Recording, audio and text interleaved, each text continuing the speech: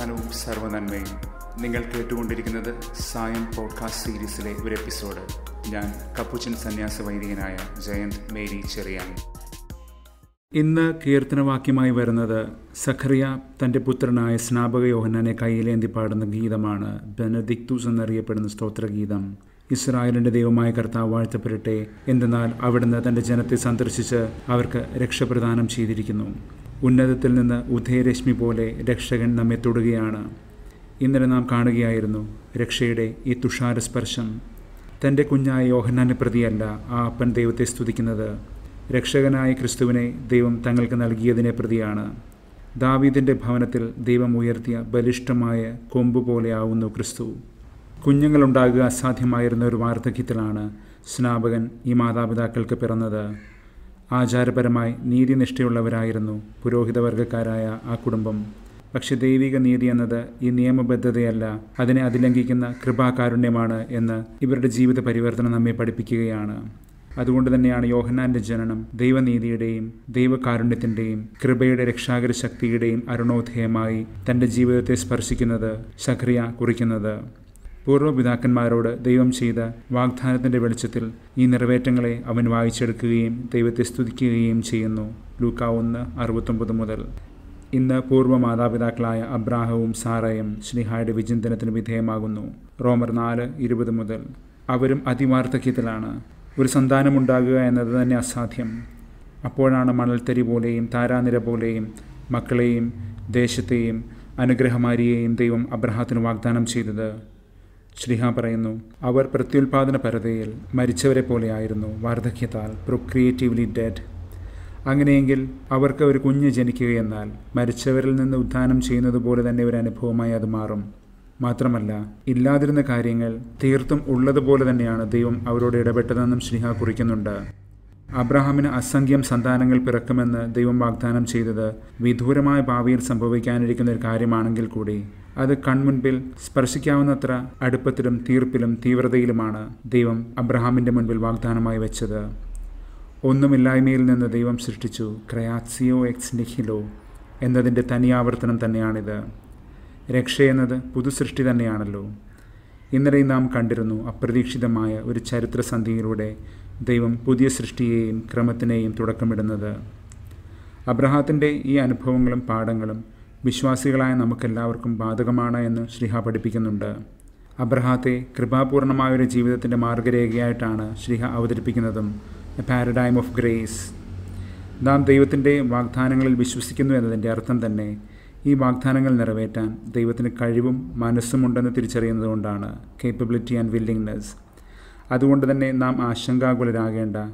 വിശ്വാസ വഴിയിൽ പാഞ്ഞു നടക്കേണ്ടതുമില്ല. പകരം നമ്മുടെ വിശ്വാസത്തിന്റെ അധ്വാനങ്ങളും സ്നേഹത്തിന്റെ ശീലങ്ങളും പ്രത്യാശയുടെ സ്ഥിരോത്സാഹവുമെല്ലാം ദൈവവുമായി ബന്ധിച്ചു നിർത്തുക എന്നതാണ് പ്രധാനം ഇന്നലെ തെസലോണിയറിൽ നാം കണ്ടതുപോലെ. എന്തെന്നാൽ നാഥൻ നമ്മുടെ വിശ്വാസത്തിന്റെ ഉരുവം മാത്രമല്ല പരിപൂർണ പാകം കൂടിയാണ്. ഹെബ്രായർ പന്ത്രണ്ട് രണ്ട്. ജീവിതത്തിന്റെ മരണമുഖത്തിൽ നിന്നും ദൈവത്തിന്റെ ഈ അജയ്യമായ ശക്തി അനുഭവിച്ചതാണ് അബ്രഹാത്തിന്റെ വിശ്വാസത്തിന്റെ കാതൽ നമ്മളും അതുപോലെ തന്നെ. അബ്രഹാം തന്റെ ശരീരത്തിന്റെ മൃതതുല്യമായ പരിസരങ്ങളിൽ നിന്ന് ദൈവത്തിന്റെ പകർച്ച മനസ്സിലാക്കിയെടുക്കുന്നു. അതുകൊണ്ട് തന്നെയാണ് നമ്മുടെ വിശ്വാസങ്ങളെയും കൃപാജീവിതത്തെയും ക്രിസ്തുവിന്റെ ഉദ്ധാനമെന്ന ഉറപ്പിൽ എന്ന് ശ്രീഹ ചേർത്ത് വായിക്കുന്നത്. ക്രിസ്തുവിനെ മരിച്ചവരിൽ നിന്ന് ഉയർപ്പിച്ച പിതാവിന്റെ നിത്യവിശ്വസ്തതയാണത്. അപ്പോസ്റ്റല പ്രവർത്തനം പതിമൂന്ന് മുപ്പത്തിരണ്ട് മുതലും എഫ് എ സിയർ ഒന്ന് പതിനെട്ടും കൊളോസിയർ രണ്ട് പന്ത്രണ്ട്. കഴിഞ്ഞ ദിവസം തന്നെ ഏറ്റുപറയുന്നതിന് ഭയമോ ആശങ്കയോ ലജ്ജയോ വേണ്ടെന്ന് നാഥൻ നമ്മെ പഠിപ്പിക്കുകയായിരുന്നു. ലൂക്ക പന്ത്രണ്ട് ഒന്ന് മുതൽ ഏഴ് വരെ. കുരുവി കുഞ്ഞുങ്ങളെപ്പോലും അറിയുന്ന നാഥൻ നമ്മെ അതിലേറെ കാക്കുന്നുവെന്നും ലൂക്ക പന്ത്രണ്ട് ഇരുപത്തിരണ്ട് മുതൽ ഇതേ ധ്വനിയിൽ തന്നെ നാഥൻ പഠിപ്പിക്കുന്നുണ്ട്. ലോകസമ്പത്തിനെയും ദ്രവ്യത്തെയും പ്രതി നമ്മൾ ആകുലരാകേണ്ട എന്ന് ദൈവപരിപാലനയിൽ ആശ്രയിക്കാൻ. കാരണം പക്ഷികളെയും വയൽപുല്ലുകളെയും പോലും അറിയുന്നവനാണ് ദൈവം. അതിനു തൊട്ടു മുൻപുള്ള സുവിശേഷ ഭാഗമാണിന്ന് ലൂക്ക പന്ത്രണ്ട് പതിമൂന്ന് മുതൽ ഇരുപത്തൊന്ന് വരെ. ദ്രവ്യത്തിന്റെ ശരിയായ വിനിയോഗത്തെക്കുറിച്ചാണ് ഇവിടെ പരാമർശം. എങ്ങനെ ദൈവസന്നിധിയിൽ സമ്പന്നരാകണമെന്ന്. ദ്രവ്യാധിക്യമല്ല ഒരുവനെ സമ്പന്നനാക്കുന്നത്. ദ്രവ്യാഗ്രഹമാകട്ടെ നിത്യജീവനെ ഹനിക്കുകയും ചെയ്യുന്നു. ദ്രവ്യത്തിന്റെ സമ്പന്നത നമ്മെ കുറേ കൂടി സ്നേഹമുള്ളവരായിട്ടും ഉദാരതയുള്ളവരായിട്ടും മാറ്റണം അപരന്റെ ഉയർച്ചയ്ക്കായിട്ട്. ഇന്നലെ നാം ധ്യാനിച്ചതുപോലെ. പകരം ദ്രവ്യാധിക്യവും ദ്രവ്യാസക്തിയും മണ്ണടിയുന്ന ജീവിതശൈലിയിലേക്കാണ് നമ്മെ നയിക്കുന്നത് നിർഭാഗ്യവശാൽ. ക്രിസ്തുവിനെ നമ്മൾ പ്രഘോഷിക്കുന്ന ഒരു യഥാർത്ഥ ജീവിതശൈലി അവലംബിക്കുകയാണെങ്കിൽ ലോകസമ്പത്തിനോട് ശരിയായ ബന്ധത്തിൽ അത് പ്രതിഫലിപ്പിക്കേണ്ടതുണ്ട്. മണ്ണിൽ ആഴ്ന്നു ജീവിക്കാൻ ശ്രമിക്കുന്നവൻ മണ്ണടിയുക തന്നെ ചെയ്യും. ഉയർപ്പ് അവൻ അസാധ്യമായി തീരും ഇഹത്തിലും പരത്തിലും. പരിശുദ്ധാത്മാവിന്റെ പ്രേരണകളെ ലംഘിക്കുന്നവന്റെ തകർച്ചയാണത്. ലൂക്ക പന്ത്രണ്ട് എട്ട് മുതൽ പന്ത്രണ്ട് വരെ. തന്റെ സഹോദരനുമായുള്ള സ്വത്ത് തർക്കത്തിൽ നാഥന്റെ ഇടപെടൽ ആവശ്യപ്പെട്ടുകൊണ്ട് ഒരുവൻ അവനെ സമീപിക്കുന്നിടത്താണ് ഈ വിചാരം ആരംഭിക്കുന്നത്. ആ മനുഷ്യൻ ക്രിസ്തുവിൽ എന്തോ ഒരു ധാർമ്മിക അധികാരം തിരിച്ചറിയുന്നുണ്ട്. അതുകൊണ്ട് തന്നെയാണ് ഒരു ഇടപെടൽ അവൻ ആവശ്യപ്പെടുന്നത്. അല്ലാതെ യേശുനാഥൻ നിയമപരമായി ആ സമൂഹത്തിന്റെ ഒരു ന്യായാധിപനായതുകൊണ്ടല്ല. പിന്തുടർച്ച അവകാശ നിയമങ്ങളും അതിന്റെ വ്യവസ്ഥകളും അതിനെ സംബന്ധിച്ചൊരു വ്യാഖ്യാനം നമ്മൾ പ്രതീക്ഷിക്കുന്നിടത്ത് ഒരു തീർപ്പ് നമ്മൾ കാത്തിരിക്കുന്നിടത്ത് നാഥൻ മോശയുടെ നിയമത്തെയല്ല അതിന്റെ ഉപരിനിയമത്തെയും ഉപരിനീതിയെയുമാണ് ഉന്നയിക്കുന്നത്. ഹയർ റൈച്ചസ്നെസ് നിയമദാതാവായ മോശയെക്കാളും താൻ വലിയവനാണ് എന്ന് നാഥൻ പഠിപ്പിക്കാറുള്ളതിന്റെ ധ്വനി തന്നെയാണ് ഇവിടെ ഉണർത്തുന്നത്. എങ്ങനെയെന്നല്ലേ? പുറപ്പാട് രണ്ട് പതിനാലിൽ മോശ ഇതുപോലെ ഒരു തർക്കത്തിൽ ഇടപെടുമ്പോൾ അവർ മോശയോട് ചോദിച്ചൊരു ചോദ്യം. നാഥൻ ഇന്ന് തിരിച്ച് അവരോട് തന്നെ ചോദിക്കുകയാണ്. നിങ്ങളുടെ മേൽ ന്യായാധിപനും തീർപ്പ് കൽപ്പിക്കുന്നവനുമായി എന്നെ ആരാണ് നിയോഗിച്ചത്? നാഥൻ ചോദിക്കുന്നതിന്റെ സാരാംശം ഇതാണ്. ഈ കേസ് ഞാൻ പരിഗണിക്കുന്നെങ്കിൽ തീർപ്പാക്കുന്നെങ്കിൽ അത് മോശയുടെ നിയമം അവലംബിച്ചായിരിക്കില്ല.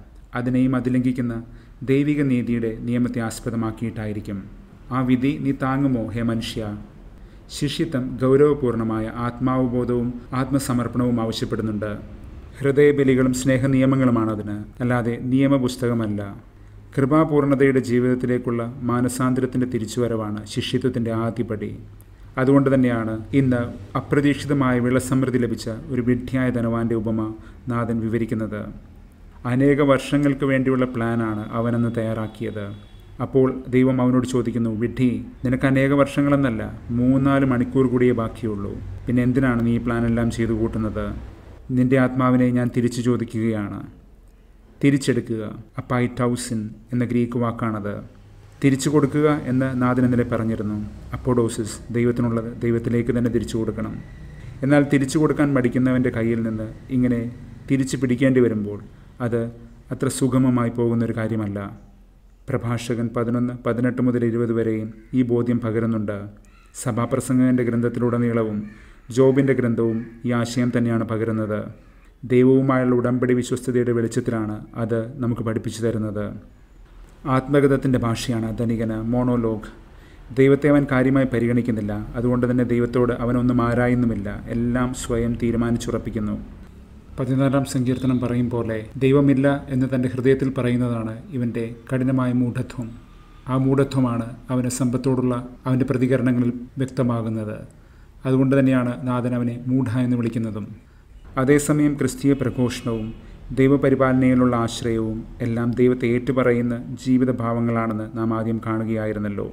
ക്രിസ്തു പിതാവിനെ സ്തുതിക്കുന്നുണ്ട് ഈ ദൈവിക ജ്ഞാനത്തെ പ്രതി. സ്തുതിക്കുക സ്തുതിച്ച് ഏറ്റുപറയുക ഓമോ ലോകേയോ. അതുകൊണ്ട് തന്നെ നമ്മുടെ ജീവിത വഴികളിലുടനീളം നമ്മൾ ആത്മഗതങ്ങളല്ല അനുഗതങ്ങളാണ് പാലിക്കേണ്ടത്.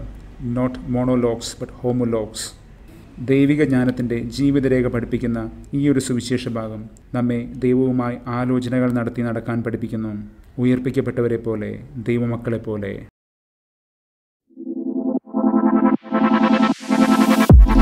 thank you